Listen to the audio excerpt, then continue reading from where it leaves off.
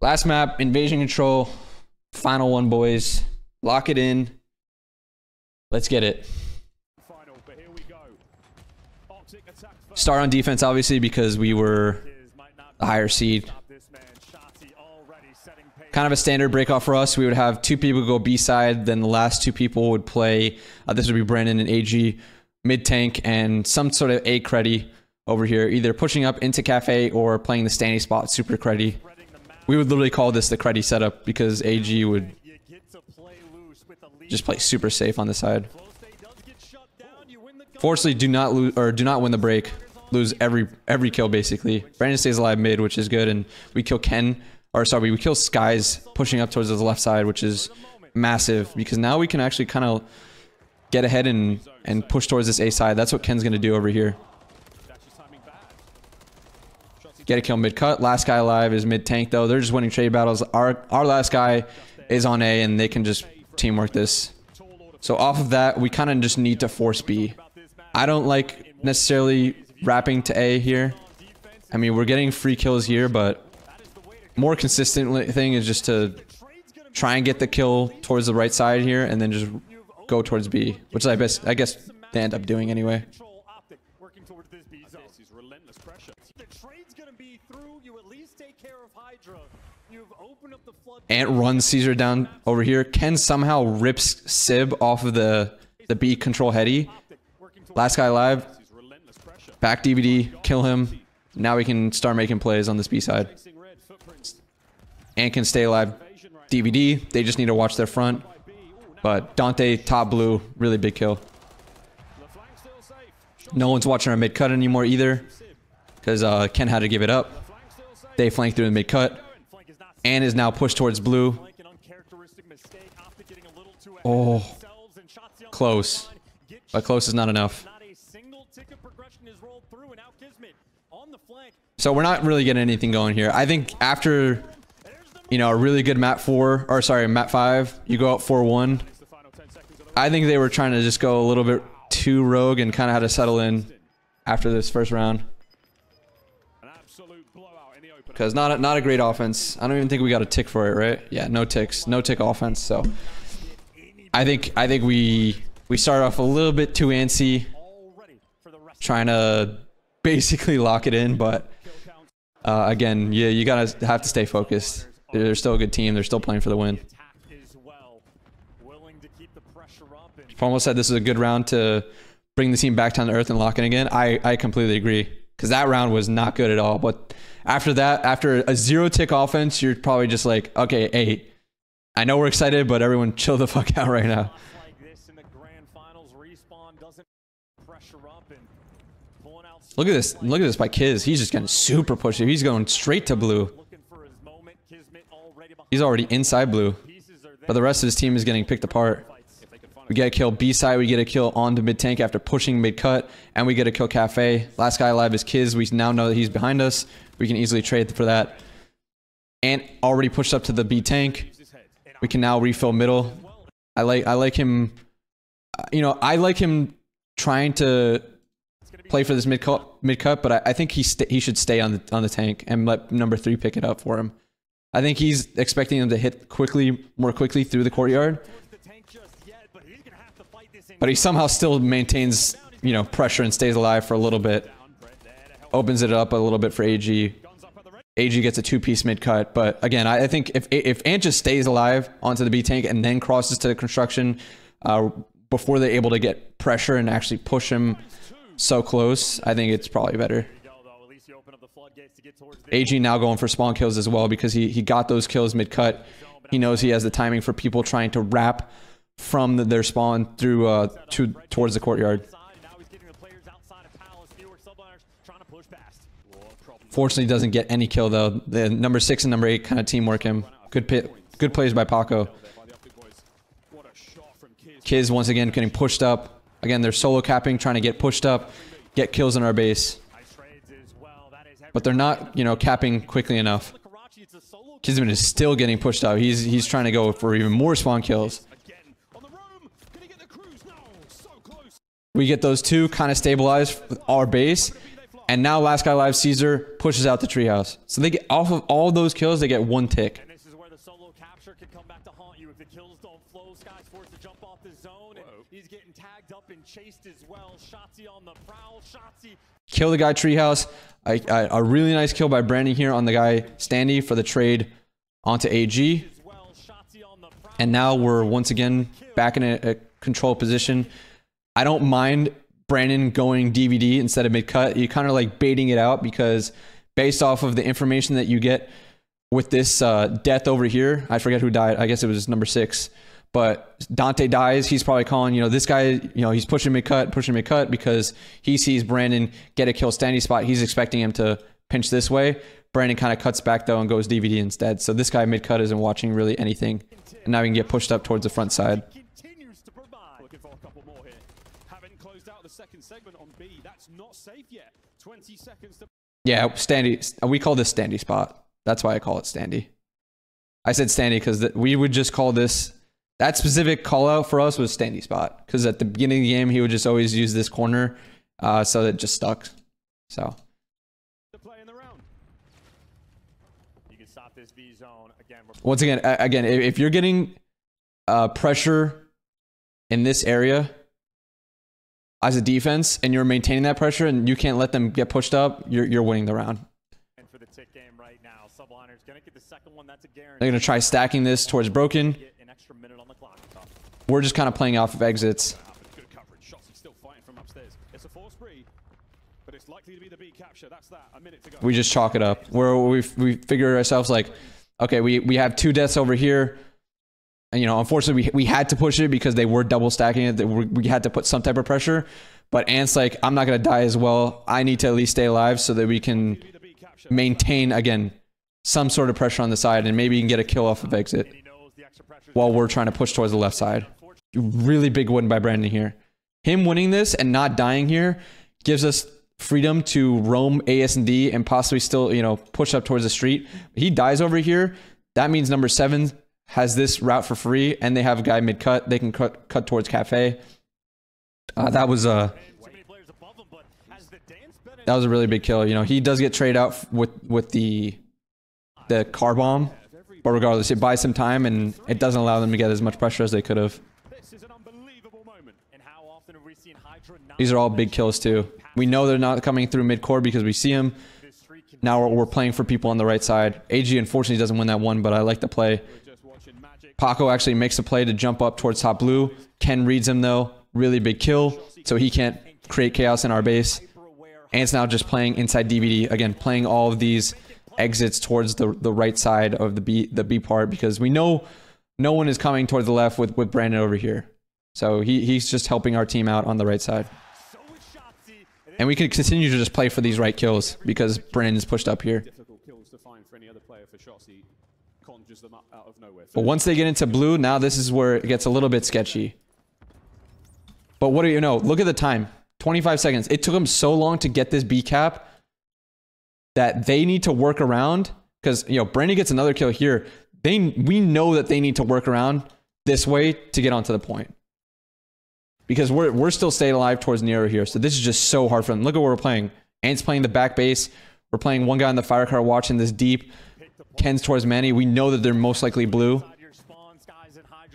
They're now climbing our gas, uh, you know, our gas ladder, and still playing for this back over here. But again, look at, you know, we, we even spawned a little bit closer than we probably should have.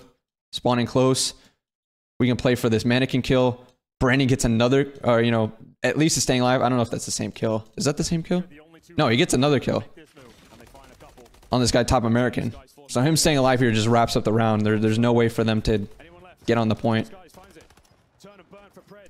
Keeping them trapped in your spawn. Don't let them get Six seconds left. You know, only guy that can touch it is is Caesar here. He's just playing Ring of Rosie. Wait! Oh, actually, Dante does get on it, so my mistake. He gets on it with 0.1 seconds. I didn't think he had the time to, but regardless, we can just tack him out, play teamwork, trades off this. We know that one guy's going to be playing uh, the cross, so if we are able to nade him out, perfect, and we win the round, and that's what we do. In the world, and there's just no trophies.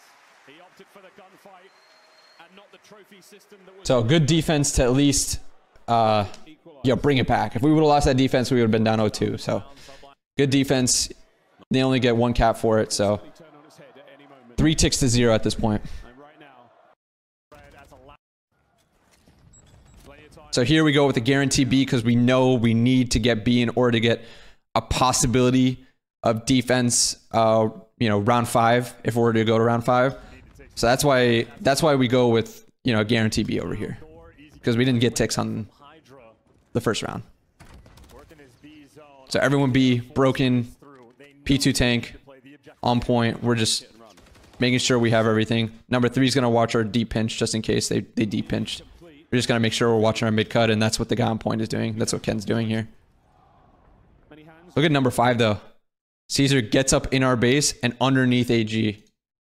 So AG can't see him, by the B zone. But eventually he's going to pinch it, so AG does see him. But let's say like he stayed underneath here and just kept blocking the spawn or something, AG would never have seen him. What happens on point here? Oh, Kiz rips Ken off the P2 tank, and that allows for them to activate uh, towards DVD and mid cut because Ken doesn't have over them. So that was a big play by Kiz. And then Paco just runs out back DVD, gets a two piece because the guy on point was watching mid cut. House for the longest time, but while he's been So that was a that was a big Kismet kill on Ken. Paco tries to push into ice cream. That's in my opinion. I don't know. I think it's a little bit of a scam. Maybe he's not expecting us to spawn that close, but again, you know, number one still, or number three could have gotten there. Number one spawn, spawns close. Maybe he's expecting us to spawn deeper. Number one spawn close. I think these other spawns are a little bit fugazi with how close we spawn to. Like, all of us are spawning super close, so maybe he thought he had the timing for it.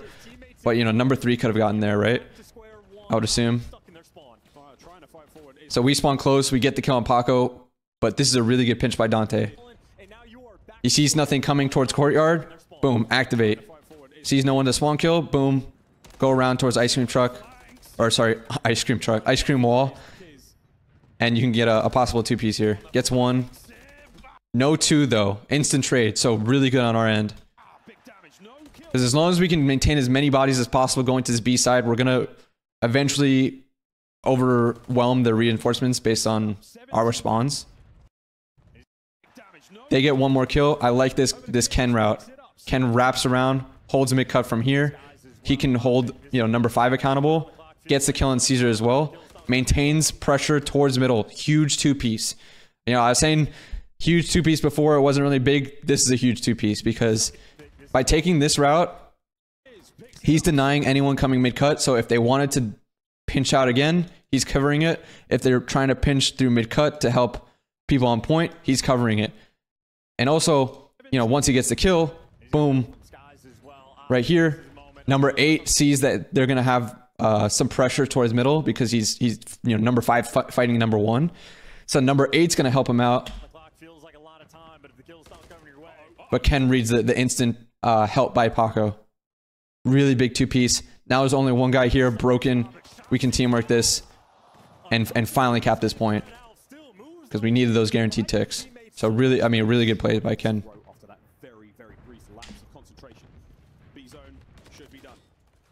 We capped the point. What do you know? One of our subs is getting super deep pushed up into into treehouse. We're gonna push through treehouse now. A really big kills here because we've already capped the point. So instead of chalking it up, they die here, and it's it's it could be really detrimental because we're getting all of this pressure towards this blue side of the map. And not only does that happen, we also win the gunfight on number six here. So Ken, instead of pushing through, let's say mid cut, going this way, he knows he has to wrap back in case they've already possibly gone up to this Lamar Street, which they did. You know, that's what Dante's doing. He knows, obviously, that's a, a good play for a team to do. It's the same thing with like, it's not the, the as drastic as useless on Karachi because if you got pushed up useless, you would block the spawn so they would spawn deeper. You you're not really going to spawn over here when A's up alone. So it was just a really good good play because you're on a defensive side. You you eliminate anyone basically wrapping going this way.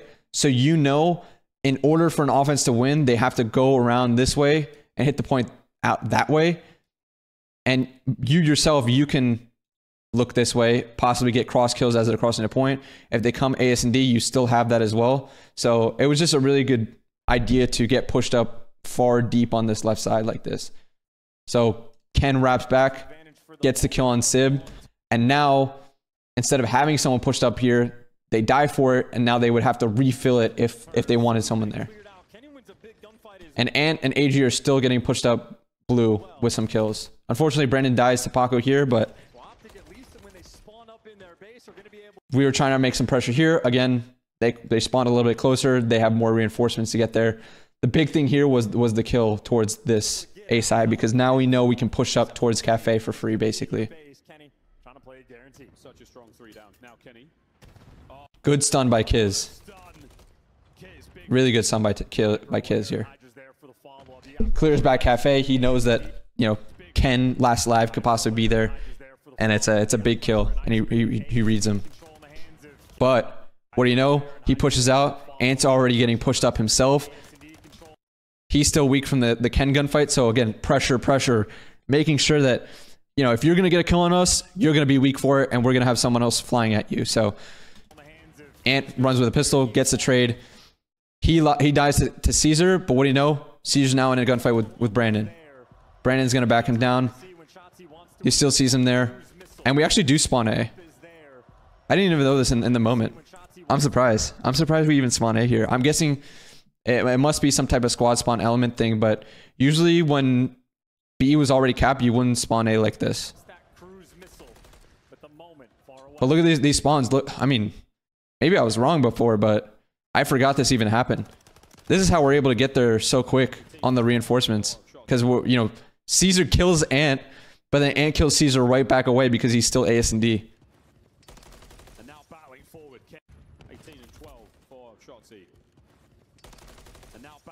Kenny gets a kill mid map. Brandon tries to get pushed up, but he gets killed by Dante. And or sorry, AG actually turns around and, and reads Paco trying to flank our base this way too. So that's a big kill because now we have everyone accounted for in our base. We know that Dante is in cafe. Ken runs him. Boom. What happens when you get kills in this area? You can now cut, get to point, get to mannequin, they're now spawning deep back here. It's a very, very tough situation for the defense.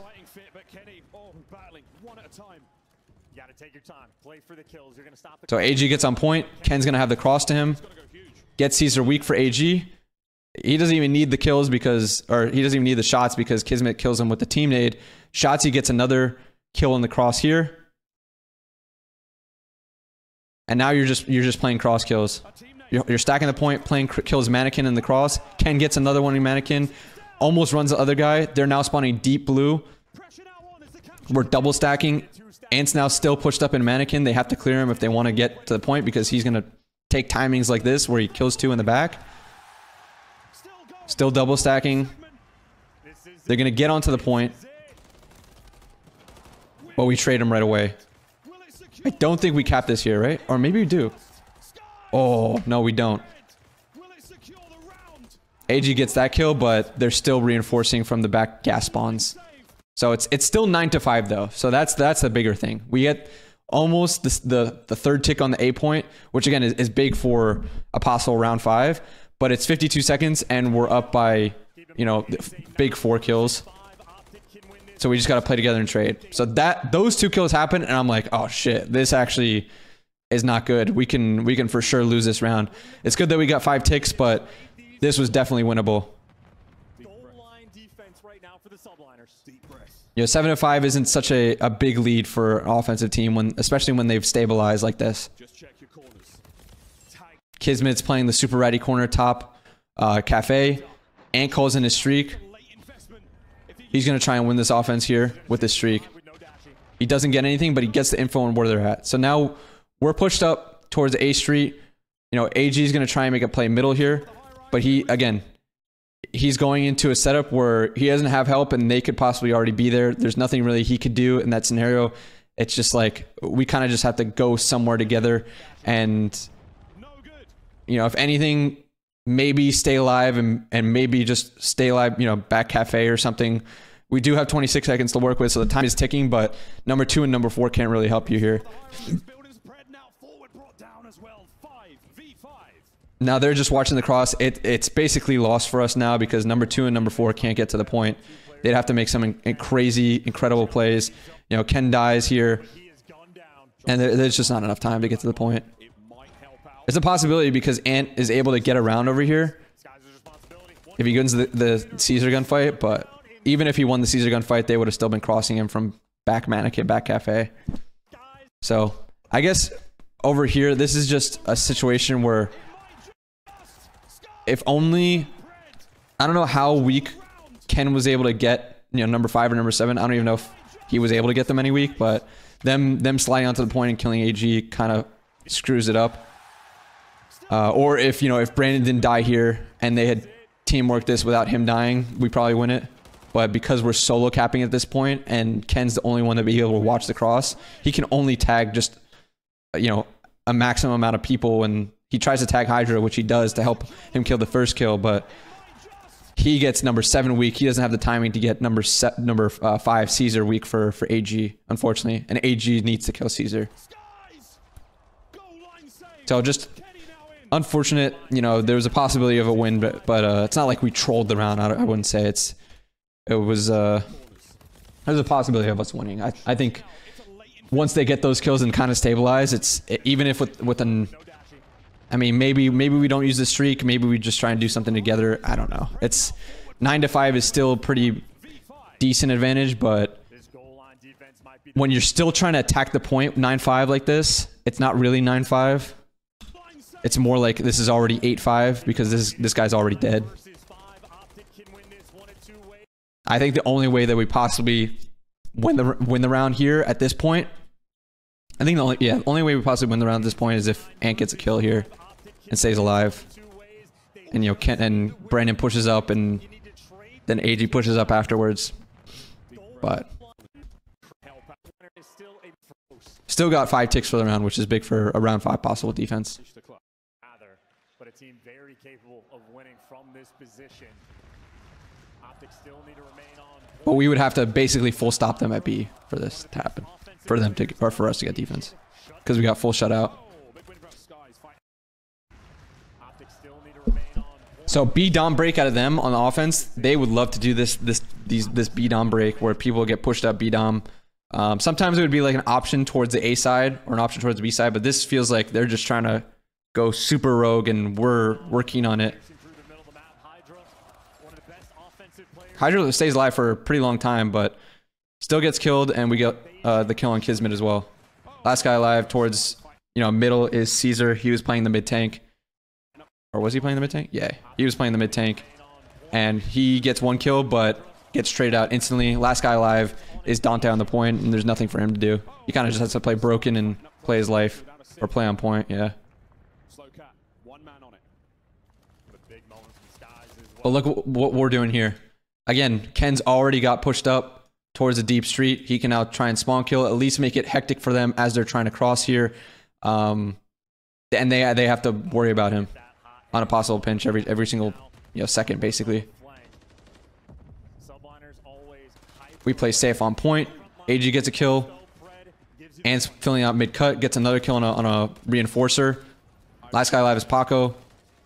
Teamwork him, or I think he gets yeah he gets team shot, but we get the teamwork on him regardless from back DVD and mid cut. Ant's last alive now here, and this is a this is big plays by by Dante and, and Kiz. So this is them spawning a little bit closer again. Once like like I was talking about before. Look at number five spawn.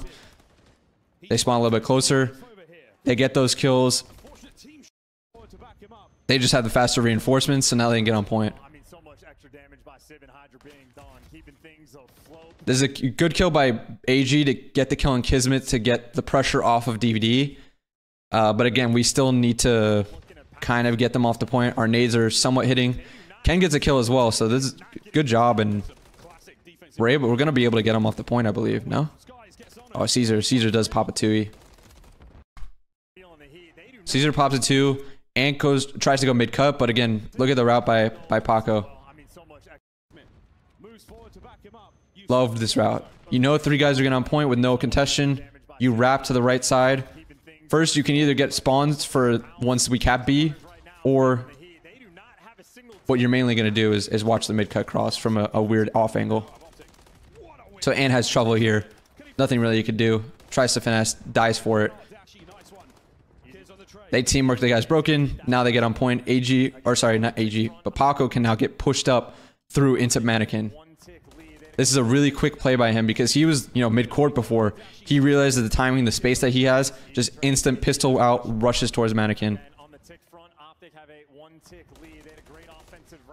AG even jiggles this. He jiggles it, stuns it, somehow dies. I thought it was a really good play though to, to jiggle it first, knowing that he could possibly have the timing. They get the trade regardless though. We're gonna give up this B cap, so that means we're gonna have offense for round five regardless. But we still need to win obviously this defense first. If we get there. They are still pushing pace. You are down 4-1 in series count in the grand finals. But this doesn't look good at all. Look at where they're they're at. Treehouse, mid tank. They're already pushed up towards the A side. To try to orchestrate a comeback. We need to get kills around Cafe to stabilize, or else we're we're just screwed. things right down here. Subline is looking for the opening. Brandon dies, which isn't good. But look at the the, the timing that Ken's able to get. He's able to get up to AS and D, try and look for this kill. But again, Paco's already there.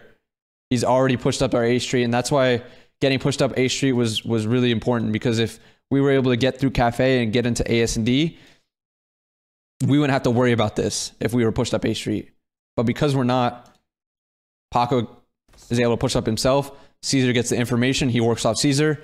Now they get all the kills towards our front side of point, and this is, I'm thinking, not not good things at this point. I'm thinking that we're probably going to uh, another game. Hydra. And wins a, a big one on the front side, but again, they're already putting pressure everywhere in our base. We're spawning deep. One guy's taking this route. They have guys mannequin and cafe. One guy on point and one guy are deep. That's a huge kill by Brandon first, but he's gonna get traded out for this. Teammates are falling, but he's there to pick him up. Extra gunfight one. Him and Sid behind enemy lines. Chelsea repositions. Crawling around and behind you. Kismet is working the flank. I think that that first kill that Brandon's able to get basically helps our round so much. His teammates are falling. Because even though he gets traded out, they don't have enough time to like hit this guy out on point because we've spawned up and we can get these crosses. Him gunfight one. Him and Sid behind enemy lines. Chelsea repositions. So they're just it's just white time for them. They're trying to stay alive for these guys, number eight and number five, but they're just spawning super deep. And we know that they're uh, in the back here and we can just clear them out. Catches Kismet as well. That's an unbelievable gun. So that's the problem with uh In the flank. Brought down as Shotzzy holds the line. Still does. that's the problem with you know how we spawn. We spawn pretty deep, but we're still spawning into the crosses.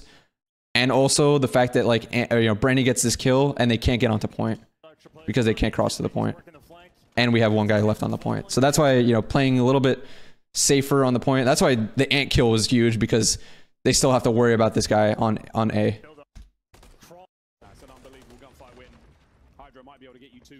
But it's still they're winning these these trade battles. They're up 14 to 12, and they still have cafe control. They still have deep street control. So it's still not looking good regardless. We're kind of like turtled up trying to play defense right now, and it's not looking good. Look at these kills that happen here. Paco wins a one on, on AG. Ant's now focused towards him. While Ant's focused towards him, And out 30 Caesar gets a free call on him. Paco ends up getting traded out, not getting into our gas because Ken looks at it. But look at all the space that they're working with now. But again, 26 seconds.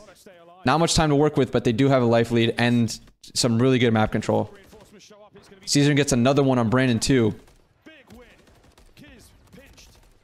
But because of how these these reinforcements are coming from us, look at these reinforcements. We're just so quick to the trade because we, we spawn up and we're just back into it. But again, 7 to 11 It's still not a good life lead, but because they're spawning so deep, and because they're not actually capping the point, we have some time to work with.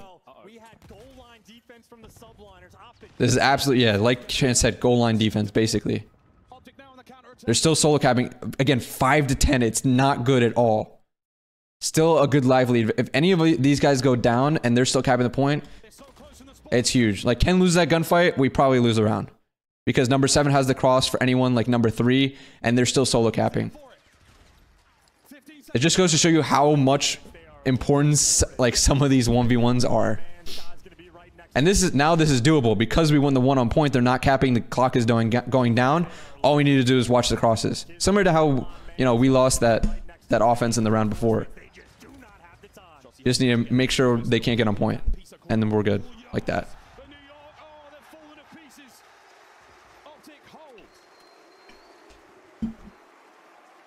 So we go to round five. We're gonna have to win an offense though. So it's a big task, especially on, on invasion, but it but it's doable. If we figured a big thing for us going into champs was that a lot of times when we would lose offenses, we wouldn't even get the B cap. So we were like, we were hard focusing. Okay, getting the B cap first, because if we get the B cap, we're one of the best teams at getting, uh, you know, offensive wins after capping B. But if we don't cap B or if we don't guarantee it, we're not winning those rounds. So we figured, let's cred up, let's play guarantee B and just cap this point and, and take it from there because that's the only way we're really going to win this this offense round five. That's a big kill by Paco here on uh, you know AG watching the pinch. I would have liked AG to play maybe a little bit more creddy uh, like on this side, so it's a little bit different off, off angle rather than just a straight up gunfight. But that's just I mean Paco just does a really good job there. Ants already pushed up into the blue. What do you know? Invasion control. He's pushed up into blue creating chaos. We're not capping the point, but we're we're trying to cut off everything towards the point for our spawners to get you know onto the point. And, see, and he's getting all this information. Brandon unfortunately dies to it, but but Ken can work off this. He gets to kill on Paco. Ant does see another one. We, we finally get on point. I think it was, yeah, AG was watching the full deep pinch, but now he's going to watch the mid cut pinch. So we just adjust off of the kills. So it's not like we're you know, focused on, you know, getting kills, but it's more so cut everything off. We'll work off of it, and then we'll we'll, we'll work on the point because we have so much to work like so much map control that we're we're working with right now because of Ant's positioning.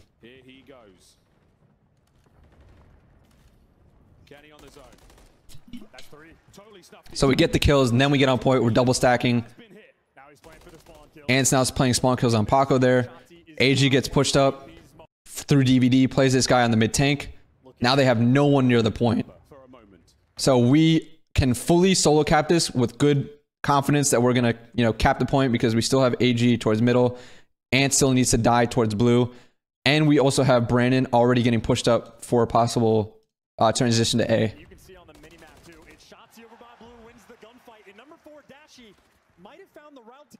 And I mean, Brandon somehow got through towards A. Look at this timing that he gets with with Paco. I think I talked about this in another video before, but Paco needs to pick up the left. He's going to pick up the left, but not until he gets to A, S, and D. So this little timing that, that Brandon gets, he he's he moved on to the A point. And now he can be a distraction. They see, oh, what the fuck, they're capping A? He gets one kill. This other guy has to play for him doesn't win it, but again, they, he's brought attention towards him so that we can start to fully cap the B point, and we're up six lives. So it's just a distraction. Now, again, because Brandon was able to transition seamlessly earlier and already gets up to the A point, that means none of them are already pushed up here. We can already get pushed up towards our, their deep street. They're not even cafe yet, not even AS and D yet, so we're already having a good transition uh, to begin with delivered. Two minutes to work with to capture this A zone. Palpable tension now. Two minutes and 25 live. Here's a situation. Any first blood is good. We're up 25 to 18. We, we have our deep street. We already are like pushed up somewhat towards Mannequin and Cafe. If we get any sort of first blood here, we can start making moves towards the point and, and create some chaos. That's what Ant's doing here.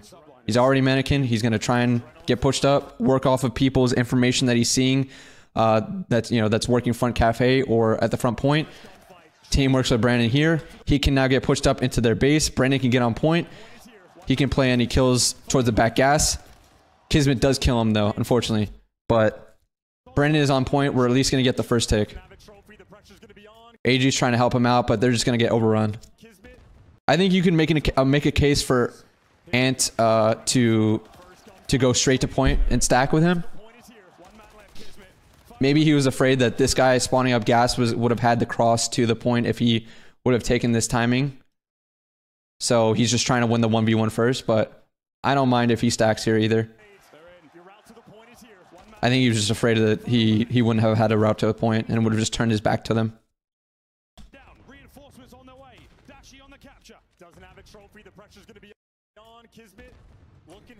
So Brandon's getting tacked out. He's just getting he's just gonna overrun here. But again, it doesn't really matter too much. Like he he's gonna get overrun, but we still have AS and D control. We still have Deep Street. We have an eight live lead. We just need to play together trades around Cafe, around Mannequin. If we can get pushed up and get a, a timing Mannequin, perfect. That's what Ken does here. He's gonna try and play and he kills Gas Plat. He sees Paco here. Huge kill because it's Paco once again. So because he gets the kill, now he can flank around as well. And on this other side, Ant wins a gunfight towards front cafe, while also AG wins um, a gunfight on one of the guys towards the backside of the point. Ken gets a two piece on the other guy that kills uh, AG. So here, I think we won. I'm just, I I say, you know, stack, stack, stack, because I'm thinking 21-11. We got the three down. We're double stacking. We got trophies on point, so we're not going to get nade off point like that. But it's just, uh, you know, Brandon's holding the cross as well. I'm like, how, how do we not win this? First off, but it's because you know Dante takes this route to kill Brandon, so no one has the cross. And then once you know Brandon dies, these guys number five and eight can crunch onto the point, and Dante can crunch on. Or when I say crunch, I'm just saying like like hit from both sides, but he can hit from this other side without AG seeing him.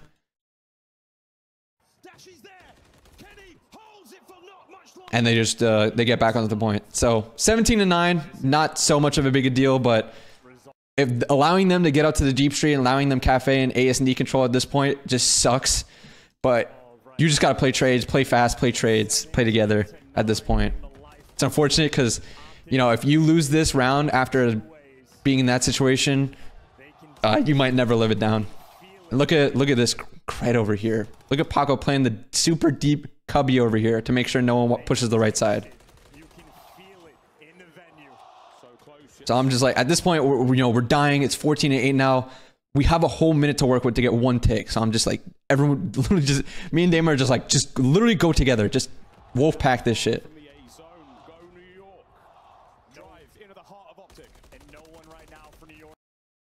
AG gets the kill on the right side on Paco, which is huge. You know, Kiz gets the kill on Ant mid court, but it's instantly traded by Brandon because you know both of them had went towards uh, this right side, him and AG. So the trade mid court happens. They get they get uh, killed over towards the right side. So we know our right the right side is basically free. Cafe and back Nero here. So we we know there's a possibility of them to have pushed up Nero. And I don't even know if Ken relays this to him, but Ant just throws a nade and somehow kills Caesar with, with the nade here. And that's the biggest kill. Because once that happens, we know that our back is clear. We, we're, we're cool with it. We everyone's in front of us, and now we can just attack the point together. We don't have to worry about you know the possibility of this guy flanking back around and, and watching the cross this way. And in case we were trying to cut, we'd have to worry about him. So huge kill to get the the nade kill on Caesar because that just gives us clear clearer mind. five remaining. Dashy's in. Brandon runs Kiz by just sliding to the point. Last guy that could even be in contention is Dante. He's gonna get one kill, and I believe it's uh, yeah, I believe it's Ken. But Ant's gonna be able to turn around right for that kill. AG in that moment has already pushed towards gas, gets one, and gets the second one on another spawner. Paco stack the point, game over. GG's. Champs winners.